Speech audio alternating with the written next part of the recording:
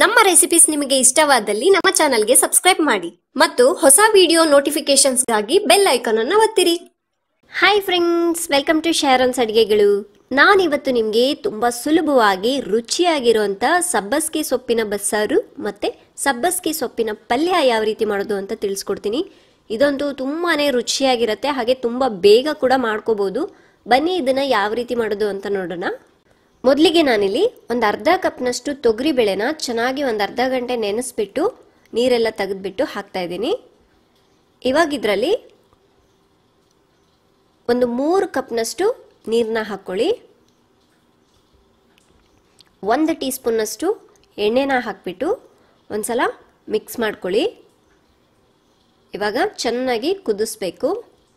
ತೊಗರಿಬೇಳೆ ಒಂದು ಅರ್ಧದಷ್ಟು ಬೇಯೋವರೆಗೂ ಚೆನ್ನಾಗಿ ಕುದಿಸಿ ನೋಡಿ, ಇವಾಗ ಒಂದು ಅರ್ಧದಷ್ಟು ಬೆಂದಿದೆ, ಪೂರ್ತಿ ಮೆತ್ತಗಾಗಬಾರ್ದು. ಇಷ್ಟಾದರೆ ಸಾಕು. ಇವಾಗ ಇದರಲ್ಲಿ ಒಂದು ಮೂರು ಕಟ್ಟು ಅಥವಾ ಮೂರು ಕಪ್ನಷ್ಟು ಸಬ್ಬಸ್ಕಿನ ಚೆನ್ನಾಗಿ ತೊಳೆದ್ಬಿಟ್ಟು ಈ ರೀತಿ ಸಣ್ಣದಾಗಿ ಕಟ್ ಮಾಡಿಬಿಟ್ಟು ಹಾಕಿ, ನೀವು ಕಪ್ಪಿನ ಅಳತೆಯಲ್ಲಿ ತೊಗೊಂಡ್ರೆ ಮೂರು ಕಪ್ ತಗೊಂಡ್ರೆ ಸಾಕಾಗುತ್ತೆ. ಇದನ್ನ ಒಂದ್ಸಲ ಚೆನ್ನಾಗಿ ಮಿಕ್ಸ್ ಮಾಡ್ಕೊಳ್ಳಿ. ಈಗ ತೊಗರಿಬೇಳೆ ಪೂರ್ತಿ ಬೇಯೋವರೆಗೂ ಕುದಿಸ್ಬೇಕು. ನೋಡಿ, ಈ ರೀತಿ ತೊಗರಿಬೇಳೆ ಎಲ್ಲ ಚೆನ್ನಾಗಿ ಮೆತ್ತಗಾಗೋವರೆಗೂ ಕುದಿಸಿ. ಇಷ್ಟಾದರೆ ಸಾಕು. ಪೂರ್ತಿ ಮೆತ್ತಗೂ ಆಗಬಾರ್ದು, ಮತ್ತೆ ಮುದ್ದೆ ಆಗಿಬಿಡುತ್ತೆ. ಈಗ ಕುದಿಸಿರೋ ಈ ಸೊಪ್ಪಿನಿಂದ ಕಟ್ಟನ್ನು ಇನ್ನೊಂದು ಪಾತ್ರೆಯಲ್ಲಿ ಹಾಕ್ಕೊಳ್ಳಿ ನಾವು ಈ ಕಟ್ಟಿನಿಂದ ಸಾರು ಮಾಡಲಿಕ್ಕೆ ಬೇಕಾಗತ್ತೆ. ನೋಡಿ, ಪೂರ್ತಿಯಾಗಿ ಸೋಸ್ಕೊಂಡಿದ್ದೀನಿ. ಇವಾಗ ಒಂದು ಮಿಕ್ಸಿ ಜಾರ್ನ ತಗೊಳ್ಳಿ.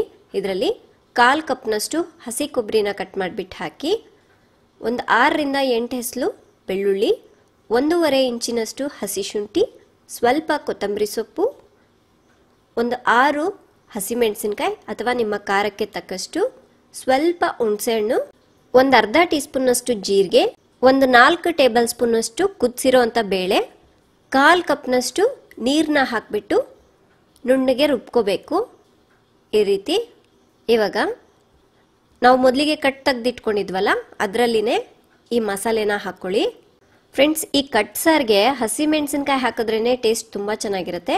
ಸ್ವಲ್ಪ ಕರ್ಬೇವಿನ ಸೊಪ್ಪನ್ನ ಈ ರೀತಿ ಕಟ್ ಮಾಡಿಬಿಟ್ಟು ಹಾಕಿ, ಒಂದು ಅರ್ಧ ಈರುಳ್ಳಿನ ಈ ರೀತಿ ಉದ್ದುದ್ದಕ್ಕೆ ಕಟ್ ಮಾಡಿಬಿಟ್ಟು ಹಾಕಿ, ಒಂದು ಮೀಡಿಯಂ ಸೈಜ್ ಟೊಮೆಟೊನ ಈ ರೀತಿ ಕಟ್ ಮಾಡಿಬಿಟ್ಟು ಹಾಕಿ, ಅರ್ಧ ಟೀ ಸ್ಪೂನ್ನಷ್ಟು ಅರಿಶಿನ ಪುಡಿ ಮತ್ತು ಇದಕ್ಕೆ ಸುಮಾರಾಗಿ ನಾನು ಒಂದು, ಒಂದೂವರೆ ಕಪ್ನಷ್ಟು ನೀರನ್ನ ಹಾಕ್ತಾ ಇದ್ದೀನಿ. ಈಗ ಇವೆಲ್ಲವನ್ನು ಚೆನ್ನಾಗಿ ಮಿಕ್ಸ್ ಮಾಡ್ಕೊಳ್ಳಿ. ಈಗ ಲಾಸ್ಟಿಗೆ ಉಪ್ಪನ್ನ ಹಾಕ್ಬಿಟ್ಟು ಒಂದ್ಸಲ ಚೆನ್ನಾಗಿ ಮಿಕ್ಸ್ ಮಾಡಿ. ಇದು ಚೆನ್ನಾಗಿ ಕುದಿಬೇಕು, ಯಾಕೆಂದರೆ ನಾವೆಲ್ಲ ಮಸಾಲೆ ಹಸಿದೆ ಹಾಕಿರೋದ್ರಿಂದ ಸ್ವಲ್ಪ ಚೆನ್ನಾಗಿ ಒಂದು ಹತ್ತು ನಿಮಿಷ ಮೀಡಿಯಂ ಫ್ಲೇಮ್ನಲ್ಲಿ ಕುದಿಸಿ, ನೋಡಿ ಟೊಮೆಟೊ ಮೆತ್ತಗಾಗೋವರೆಗೂ ಕುದಿಸಿದ್ರೆ ಸಾಕು. ನೋಡಿದ್ರಲ್ವ ಟೊಮೆಟೊ ಚೆನ್ನಾಗಿ ಮೆತ್ತಗಾಗಿದೆ. ಈ ಸಬ್ಬಸ್ಗೆ ಸಾರು ತುಂಬ ಗಟ್ಟಿಯಾಗಿದ್ರೂ ಚೆನ್ನಾಗಿರೋದಿಲ್ಲ, ತುಂಬ ನೀರಾಗಿದ್ರೂ ಚೆನ್ನಾಗಿರೋದಿಲ್ಲ. ನೋಡಿ, ಈ ಕನ್ಸಿಸ್ಟೆನ್ಸಿಯಲ್ಲಿ ಇರಬೇಕು.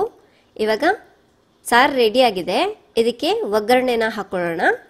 ಒಂದು ಟೇಬಲ್ ಸ್ಪೂನಷ್ಟು ಎಣ್ಣೆನ ಹಾಕಿ, ಎಣ್ಣೆ ಚೆನ್ನಾಗಿ ಕಾದ ನಂತರ ಕಾಲು ಟೀ ಸ್ಪೂನ್ನಷ್ಟು ಸಾಸಿವೆ, ಕಾಲು ಟೀ ಸ್ಪೂನ್ನಷ್ಟು ಜೀರಿಗೆ ಮತ್ತು ಒಂದು ಚಿಟಿಕೆಯಷ್ಟು ಇಂಗನ್ನ ಹಾಕಿ, ಇನ್ನು ಲಾಸ್ಟಿಗೆ ಕರ್ಬೇವಿನ ಸೊಪ್ಪನ್ನು ಹಾಕಿಬಿಟ್ಟು ಇವಾಗ ಚೆನ್ನಾಗಿ ಮಿಕ್ಸ್ ಮಾಡ್ಕೋಬೇಕು. ಸಾಸಿವೆ ಚಿಟಪಟ ಅನ್ನೋವರೆಗೂ ಹುರ್ಕೊಳ್ಳಿ. ಒಗ್ಗರಣೆ ರೆಡಿಯಾಗಿದೆ ಈಗ ಸಬ್ಬಸ್ಗೆ ಸಾರಿಗೆ ಈ ಒಗ್ಗರಣೆನ ಹಾಕಿ ಮಿಕ್ಸ್ ಮಾಡ್ಕೊಳ್ಳಿ. ಈ ಸಬ್ಬಸಿಗೆ ಸೊಪ್ಪಿನ ಸಾರನ್ನ ರೈಸ್ ಚಪಾತಿ, ರೋಟಿ, ಮುದ್ದೆ ಜೊತೆ ತಿಂದರೆ ಸೂಪರ್ ಆಗಿರುತ್ತೆ. ಈಗ ಸಾರು ಮಾಡೋದು ನೋಡಿದ್ರಲ್ವಾ? ನೆಕ್ಸ್ಟ್ ಇವಾಗ ಸಬ್ಬಸಿಗೆ ಸೊಪ್ಪಿನ ಪಲ್ಯ ಯಾವ ರೀತಿ ಮಾಡೋದು ಅಂತ ನೋಡೋಣ. ಒಂದು ಪ್ಯಾನ್ನ ಬಿಸಿ ಮಾಡಿ, ಇದರಲ್ಲಿ ಎರಡು ಟೇಬಲ್ ಸ್ಪೂನ್ನಷ್ಟು ಎಣ್ಣೆನ ಹಾಕಿ, ಎಣ್ಣೆ ಕಾದ ನಂತರ ಅರ್ಧ ಟೀ ಸ್ಪೂನ್ನಷ್ಟು ಸಾಸಿವೆ, ಅರ್ಧ ಟೀ ಸ್ಪೂನ್ನಷ್ಟು ಜೀರಿಗೆ ಒಂದು ಆರರಿಂದ ಎಂಟು ಹೆಸಲು ಬೆಳ್ಳುಳ್ಳಿನ ಜಜ್ಜಿಬಿಟ್ಟು ಹಾಕಿ ಸ್ವಲ್ಪ ಕರ್ಬೇವಿನ ಸೊಪ್ಪನ್ನ ಹಾಕಿಬಿಟ್ಟು ಚೆನ್ನಾಗಿ ಸಾಸಿವೆ ಚಿಟಪಟ ಅನ್ನೋವರೆಗೂ ಹುರ್ಕೋಬೇಕು. ಸ್ಟವ್ನ ಮೀಡಿಯಂ ಫ್ಲೇಮ್ನಲ್ಲಿ ಇಟ್ಕೊಳ್ಳಿ.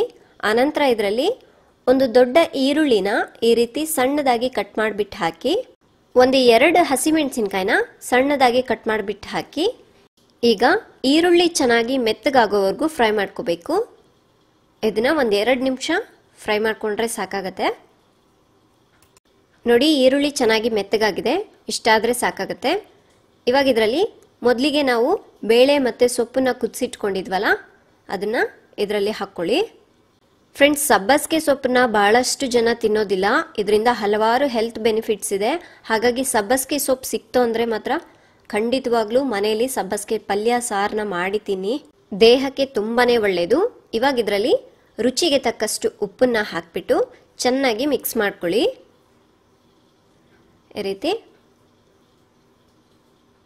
ಸಬ್ಬಸ್ಗೆ ಪಲ್ಯ ಅಂತೂ ತುಂಬಾ ಸಿಂಪಲ್. ಒಂದು ಐದು ನಿಮಿಷದಲ್ಲೇ ಆಗೋಗ್ಬಿಡತ್ತೆ. ಈ ರೀತಿ ಚೆನ್ನಾಗಿ ಮಿಕ್ಸ್ ಮಾಡ್ಕೋಬೇಕು. ಫ್ರೆಂಡ್ಸ್, ಇದಕ್ಕೆ ಬೇಕಿದ್ದರೆ ಮೇಲೆ ಹಸಿ ಕೊಬ್ಬರಿನ ತುರಿದ್ಬಿಟ್ಟು ಹಾಕ್ಬೋದು, ಬಟ್ ನಾನು ಹಾಕಿಲ್ಲ. ಹಸಿ ಕೊಬ್ಬರಿ ಹಾಕಿದ್ರು ಕೂಡ ತುಂಬ ಚೆನ್ನಾಗಿರುತ್ತೆ. ನಾವೆಲ್ಲ ಶಿವಮೊಗ್ಗ ಸೈಡೆಲ್ಲ ಹಸಿ ಕೊಬ್ಬರಿ ಹಾಕ್ತಾರೆ ಅದರಲ್ಲಿ. ಇವಾಗ ಒಂದು ಎರಡು ನಿಮಿಷ ಇದ್ರ ಮೇಲೆ ಮುಚ್ಚುಳನ ಮುಚ್ಚಿಡಿ. ಸ್ಟವ್ನ ಲೋ ಫ್ಲೇಮ್ನಲ್ಲಿ ಇಟ್ಕೊಳ್ಳಿ. ನೋಡಿ, ಈಗ ಒಂದೆರಡು ನಿಮಿಷ ಆಗಿದೆ. ಮುಚ್ಚುಳನ ತೆಗೆದ್ಬಿಟ್ಟು ಒಂದ್ಸಲ ಮಿಕ್ಸ್ ಮಾಡ್ಕೊಳ್ಳಿ. ಆನಂತರ ಸ್ಟವ್ನ ಆಫ್ ಮಾಡ್ಕೊಳ್ಳಿ. ಫ್ರೆಂಡ್ಸ್ ಇವಾಗ ಬಿಸಿ ಬಿಸಿಯಾಗಿ ಸಬ್ಬಸ್ಗೆ ಸೊಪ್ಪಿನ ಪಲ್ಯ ಕೂಡ ರೆಡಿ ಆಗಿದೆ. ಈ ಸಬ್ಬಸ್ಗೆ ಸೊಪ್ಪಿನ ಸಾರು ಮತ್ತೆ ಪಲ್ಯನ ನೀವು ಕೂಡ ಒಂದ್ಸಲ ಟ್ರೈ ಮಾಡಿ ನೋಡಿ. ಮನೇಲಿ ಎಲ್ಲರಿಗೂ ತುಂಬಾ ಇಷ್ಟ ಆಗತ್ತೆ. ನೋಡಿದ್ರಲ್ಲ ಫ್ರೆಂಡ್ಸ್ ತುಂಬ ಸುಲಭವಾಗಿ, ತುಂಬ ರುಚಿಯಾಗಿರೋಂಥ ಸಬ್ಬಸ್ಗೆ ಸೊಪ್ಪಿನ ಸಾರು ಮತ್ತು ಸಬ್ಬಸ್ಗೆ ಸೊಪ್ಪಿನ ಪಲ್ಯ ಯಾವ ರೀತಿ ಮಾಡೋದು ಅಂತ ಈ ರೆಸಿಪಿ ಇಷ್ಟ ಆಯಿತು ಅಂದರೆ ಪ್ಲೀಸ್ ಲೈಕ್ ಬಟನ್ನ ಕ್ಲಿಕ್ ಮಾಡಿ ಮತ್ತು ನಿಮ್ಮ ಸ್ನೇಹಿತರಿಗೂ ಶೇರ್ ಮಾಡಿ. ಮತ್ತಷ್ಟು ಹೊಸ ಇಂಟ್ರೆಸ್ಟಿಂಗ್ ರೆಸಿಪೀಸ್ಗಳಿಗಾಗಿ ಶ್ಯಾರೋನ್ ಅಡುಗೆ ಚಾನಲ್ನ ಸಬ್ಸ್ಕ್ರೈಬ್ ಮಾಡಿ. Thank you